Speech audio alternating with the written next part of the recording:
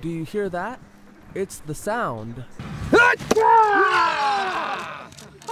of a Guinness World Record. 20 years after battling putty men and gigantic monsters, Jason David Frank has taken to the skies.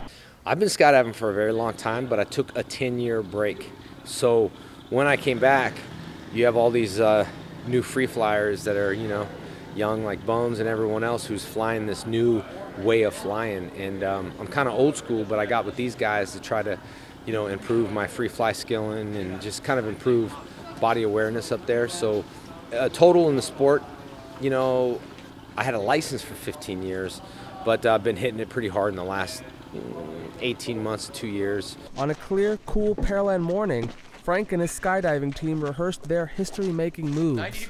Uh, I like setting independent goals for myself. You, know, I know a skydiver jumped out of space, and there's just no way we can jump out of space. Cost millions of dollars.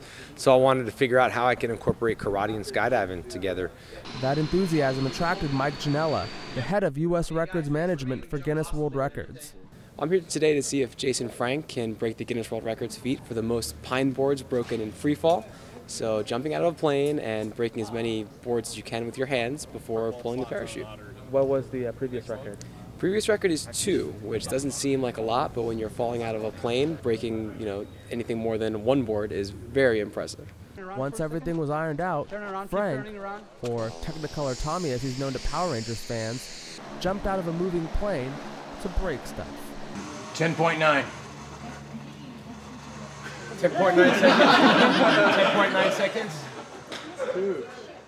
19.2. I had to do six to eight. Between six and eight, we got seven, so it's right that in is, the middle. That is bang on. That yeah, is amazing. awesome. So, and we were done. I'm honest. Honestly, I could have done another three, easy. Wow. We were done by. We were done by five. Thousands of feet, a couple of seconds, and seven broken boards, which is a new Guinness World Record achievement.